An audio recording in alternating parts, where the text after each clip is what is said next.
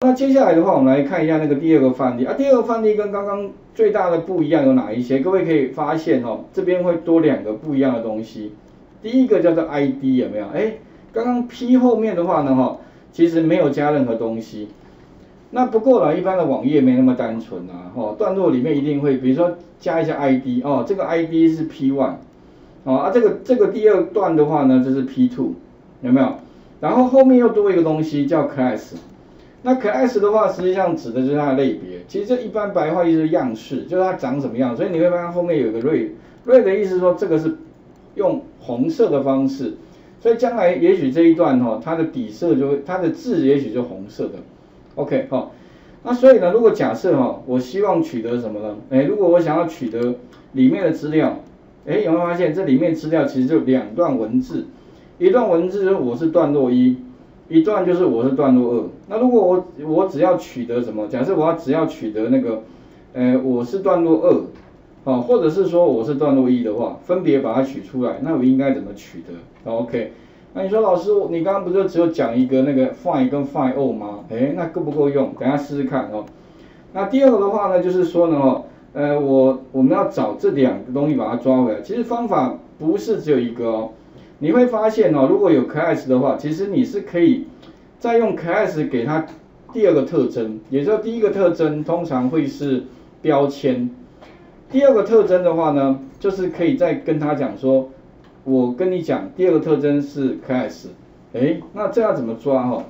接下来的话呢，一样哦，我们把刚刚这一段程式哦，哎，刚刚这一段程式嘛，其实你们可以直接拿刚刚这一段来改哈。把这改的方法就是上面这这一段 HTML 这一段啊，把它 delete 掉，然后直接拿刚刚我们上面这，哎不，上面其实也有，干脆直接拿这个来改好了，直接拿那个这个第四页的这个 HTML 好没有？到这两行 Ctrl C，好，Ctrl C 之后的话呢，请你直接再开一个新的，好，把它贴上，再把它放大，OK。所以哦，上面的话是 HTML，好，然后底下的话就是已经给你必须要的 Beautiful Soup 的物件叫 SP。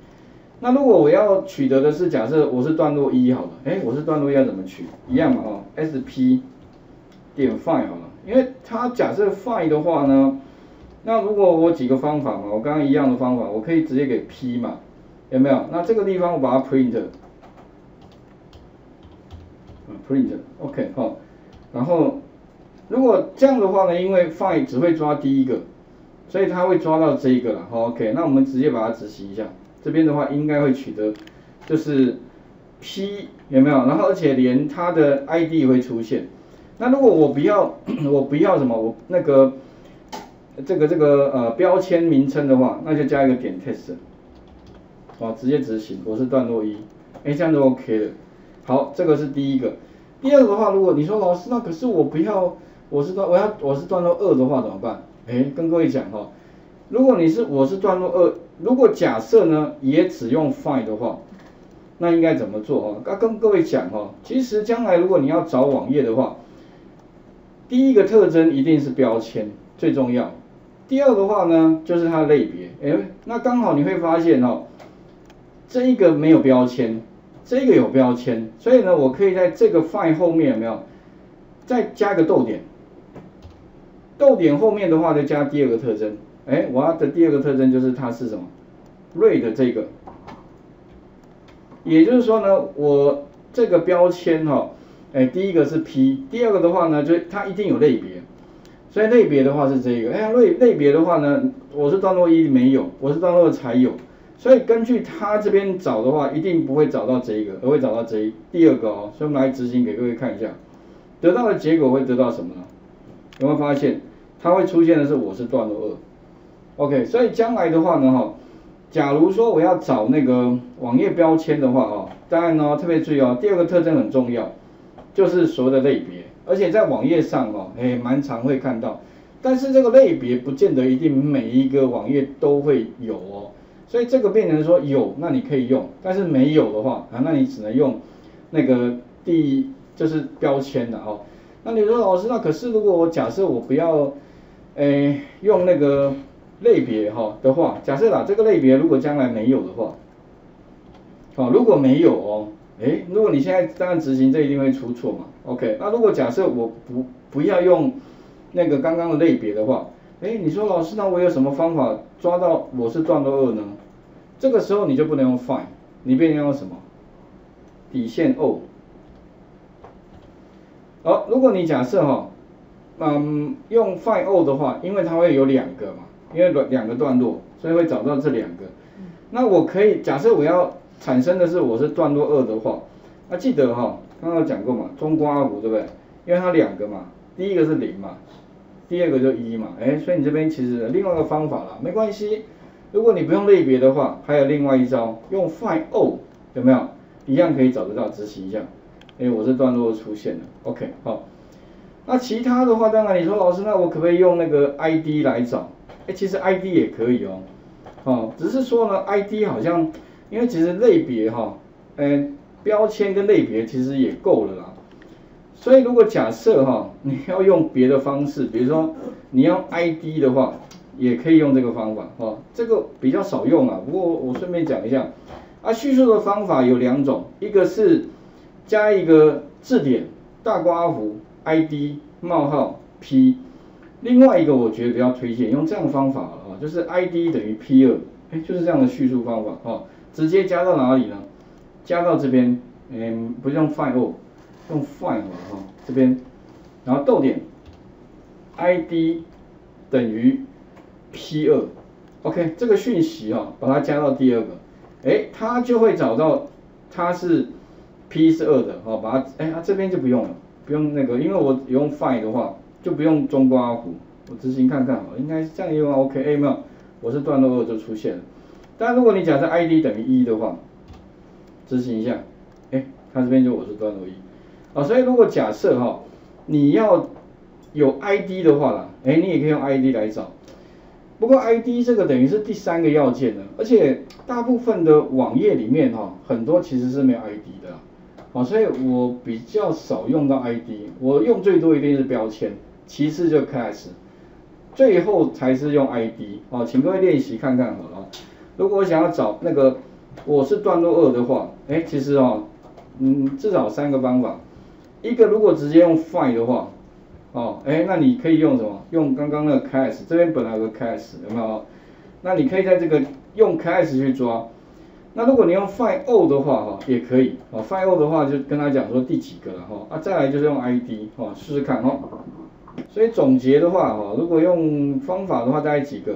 第一个方法就是直接用 find all，OK，好，方方法一嘛，哦。方法二的话呢，就是如果你用 find，那记得这边会多一个什么逗点，它的类别，类别名称加后面。那方法三或四啦，我是建议干脆用方法三好了，嗯，用这样好了，这样比较好，好。这个这个方法，我觉得这个可以不用，干脆三个方法了哈。方法一二三，那这个第三个方法就是这个 P 的后面呢，再加一个什么，它的 ID，OK，好，就这样。好，那请各位试试看范例二的部分，哦，所以又多增加两个重点，就是一个是类别，有没有？一个是 ID，啊，这两个等于是。重要性应该是排第二跟第三的哈，OK。不过啊，最重要还是标签，我觉得真的只要标签的话应该就够了哦。所以刚刚其实如果你不会这两个方法，其实你只要用 find all，但是你要知道说第几个哦，OK。这边可能要加一个中括弧，因为它 find all 的话一定是一个串列，哦，你跟他讲第几个。不过我发现同学比较转不过来就是那个串列，哦，OK，哦，串列里面。太多个了，到底第几个？而且串列一定从零开始，很多同学真的是转不过来。为什么从零开始？他没办法，这电脑都从零开始了，它不会从一开始。所以每次从零开始之后，总数就要减一，又要少掉一个，又是转不过来。OK，不过这个一定要克服哦。如果你这个可以克服的话，我相信应该写程式就比较顺利一点。哦，这个 AI 可能没办法帮你啊。有时候你 AI 出来都一定从零开始，它不可能说它帮你很贴心的，只是说你可以问他说为什么，它回答你啊，OK，哦，试一下好了。那再来的话就是超连接，哦，跟图档，哎，比如说你要抓的可能不是文字，因为我们刚刚讲都是文字，可是你说老师，可是我要抓的是常常会用到就是那个网页里面的超连接啊，哈，或者说我要抓是抓那个网页里面的图档，有没有？我直接把图抓下来，哎，有没有？爬虫不是只能爬文字哦，它还可以帮你爬上面的这个图档。哎，那怎么怎么做？比如相簿，一堆相簿，啊，以前相簿你要存档的话，不是按右键另存新档，有没有？然后再右键另存，哎，我有一百张图，你不是右键一百次吗？那浪费。那如果你用爬虫的话，是直接执行，自动就帮你把所有的图档全部批次的帮你把它存档在一个资料夹，哎，这样不是省时又快？OK 哈，啊怎么做？哦，待会我们再来看哈，范例三哈。